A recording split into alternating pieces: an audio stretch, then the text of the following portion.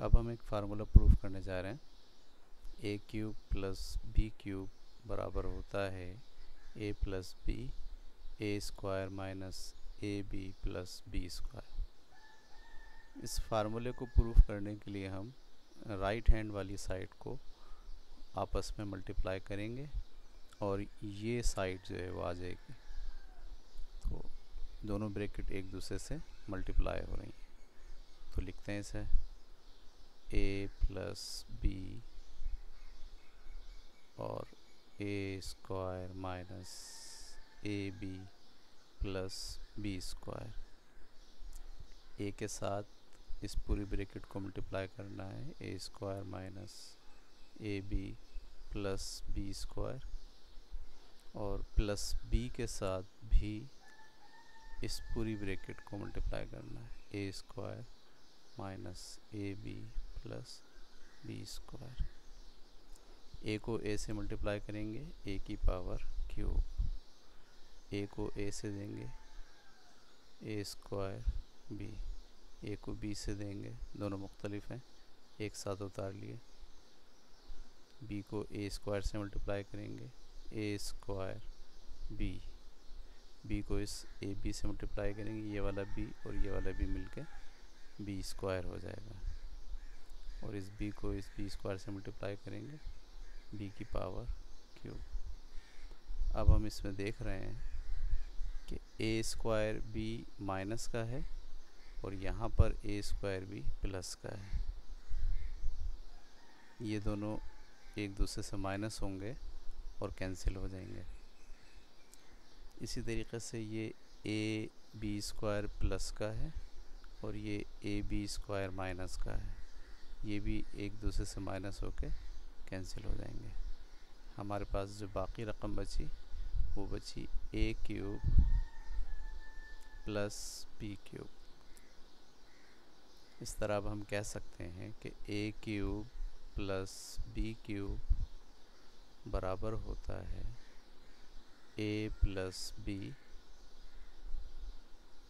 और A square minus A B plus B square याद रखने वाली बात यह है कि अगर प्लस का फार्मूला होगा तो पहली ब्रैकेट में भी प्लस होगा, लेकिन दूसरी ब्रैकेट के बीच में माइनस होगा।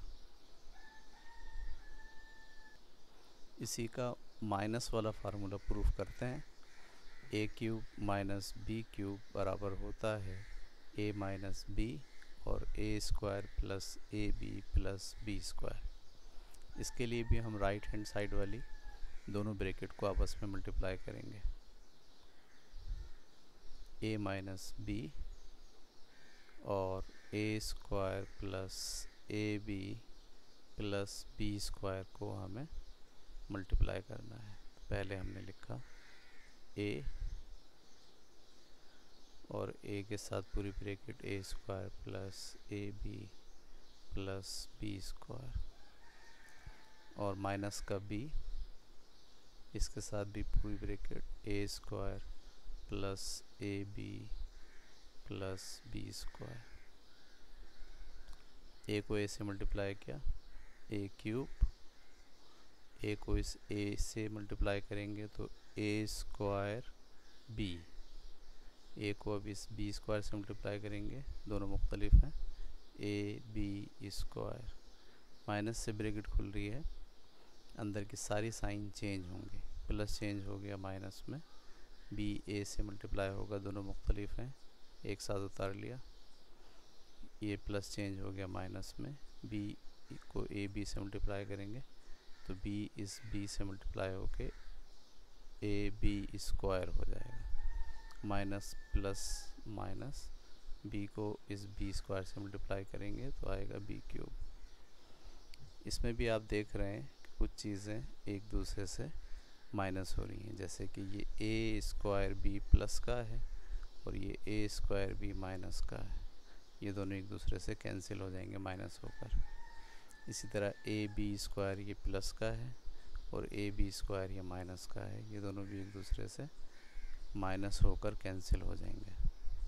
इस तरह हमारे पास जो रकम बचेगी वो है A cube plus sorry minus B cube. तो हम ये कह सकते हैं कि A cube minus B cube बराबर होता है ए माइनस बी और A square plus A B plus B square. याद रखने वाली बात यह है कि अगर क्यूब के बीच में माइनस है तो अंदर पहली ब्रैकेट में माइनस और अंदर वाली ब्रैकेट के बीच में प्लस। अगर यहाँ प्लस होता तो यहाँ प्लस और यहाँ माइनस होता।